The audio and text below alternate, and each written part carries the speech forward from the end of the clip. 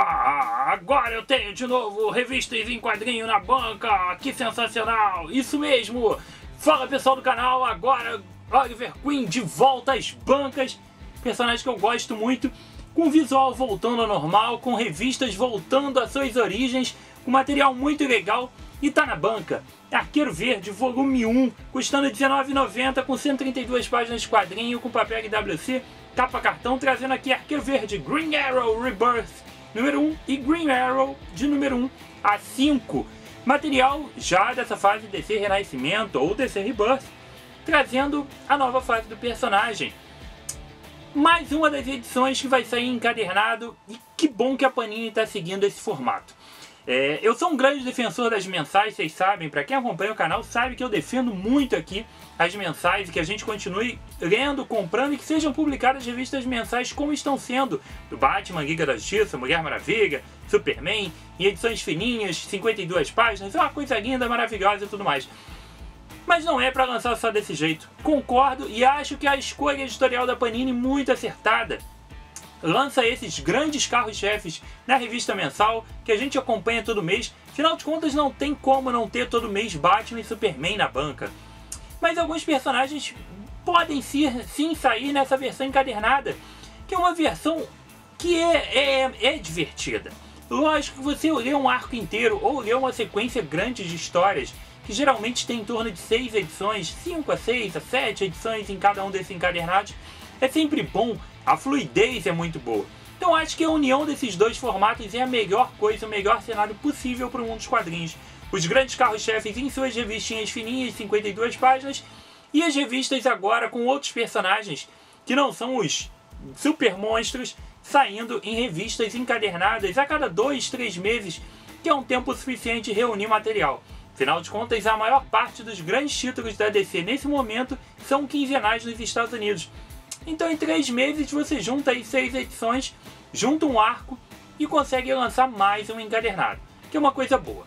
Tem um lado ruim também disso, e que pode ser sentido já em algumas histórias de todos os personagens, tá?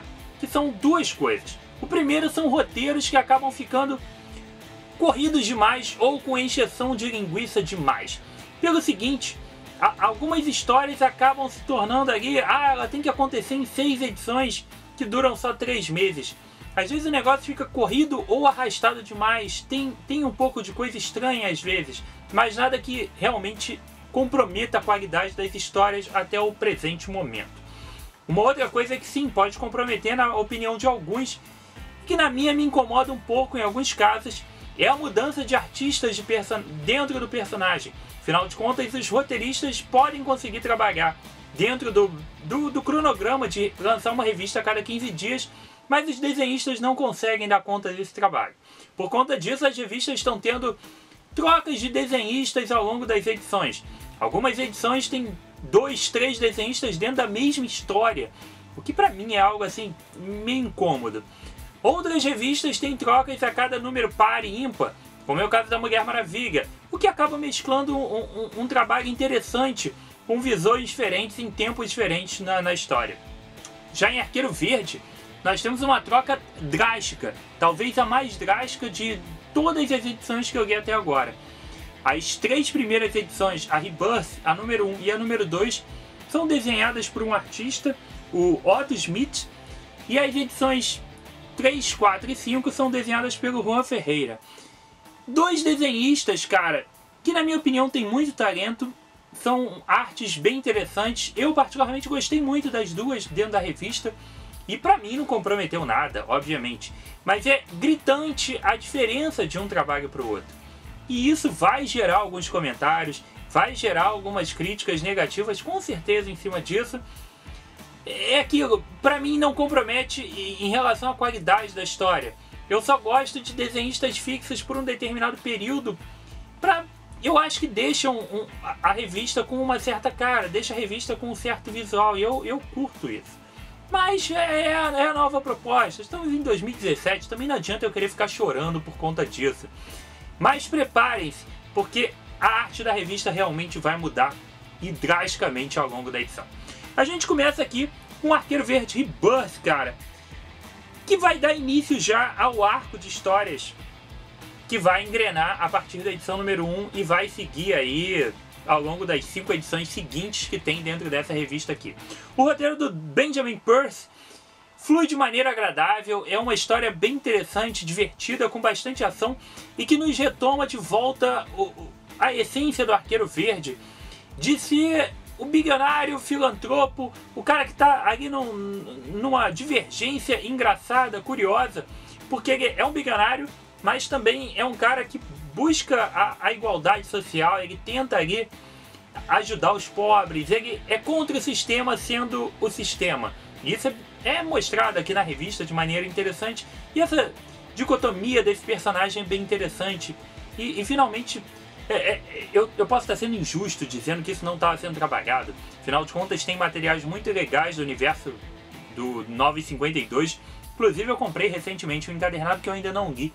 Sei que tem coisas boas, saíram coisas boas do Arqueiro Verde, mas não sei se eles estavam seguindo essa essência do personagem.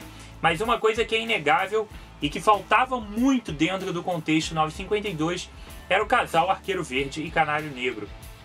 E finalmente a gente tem a união desses personagens de novo desde o início desse arco.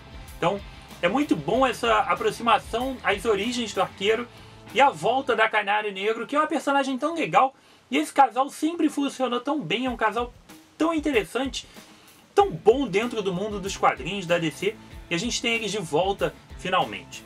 Então, na primeira edição, a gente acompanha um, um misterioso sumiço de moradores de rua que começa a despertar o interesse do Oliver Queen, do Arqueiro Verde e da Canário Negro. Eles acabam descobrindo que existe algo muito mais maléfico por trás desses simples desaparecimentos. A partir daí, essa investigação vai tomar rumos imprevisíveis e muito, muito maiores do que simplesmente desaparecer um mendigo, um morador de rua. E a gente vai descobrir alguns planos de escala global, por que não? A gente também tem a inserção de um novo grupo de vilões bem interessante, cara, com uma proposta legal.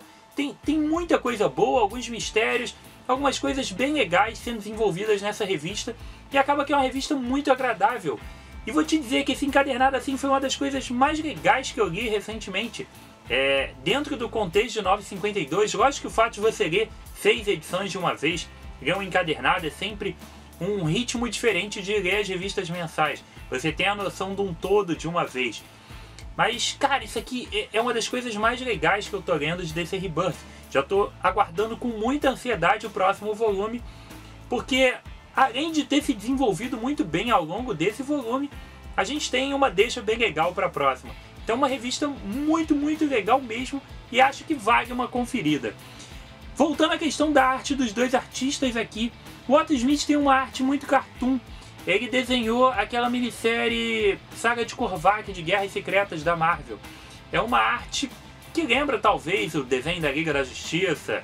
É, é, não, não propriamente igual, mas é uma arte com, com um traço realmente diferenciado. Eu tava gostando muito da arte dele, tá? E, e acho que é uma arte que funciona, pode servir para o contexto do quadrinho, é uma arte legal, ele mesmo é responsável pelas cores. Eu tava me divertindo e tava dentro daquela arte. Depois a gente vai pro Juan Ferreira, que era um cara que estava desenhando muitas capas de quadrinho, principalmente do Hellblazer. Depois ele entrou nas capas do Esquadrão Suicida e até começou a desenhar algumas edições. É um cara que também tem um trabalho relativamente novo no mercado. Mas a arte dele é, é sensacional, é uma arte muito mais detalhada, muito mais realista, muito bonita e valoriza demais o trabalho do, do roteiro. A, acaba que a revista tem duas narrativas visuais muito boas e completamente distintas.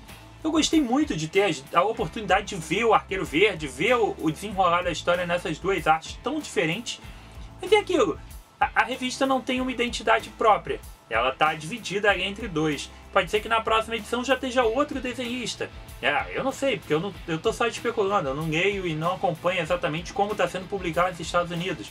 Então pode ser que no volume 2 a gente tenha uma troca, ou volte o Otto, sei lá. Mas são boas artes, tá? Acho que nenhuma das duas deixa nada a desejar. E junto com um ótimo roteiro, Arqueiro Verde é. Ah, uma das melhores coisas que você pode ler na banca atualmente. Vai lá e compra sua. Ai, que coisa horrível, cara. Eu brincando com o bonequinho, fazendo uma voz que não tem nada diferente da minha.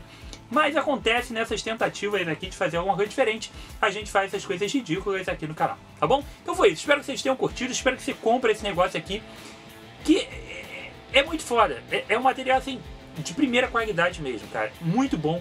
Arqueiro Verde está na banca e é incrível. Deixe seu comentário, deixe seu like, escreve aí o que você achou da revista, pai e tudo mais. Deixa aí tudo escritinho.